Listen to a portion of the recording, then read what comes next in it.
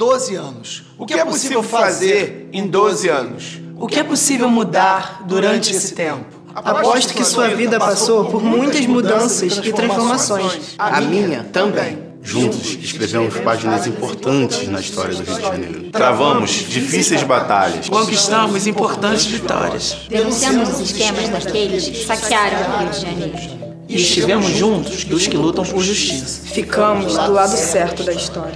Mas a vida é movimento. É feita de novos desafios. E é preciso ter coragem para encará-los. E nada é mais urgente hoje que continuar lutando. Só que agora o foco é outro. É Brasília. O momento chegou. Eu sou Freixo. Eu sou Freixo, pré-candidato a deputado federal pelo PSOL.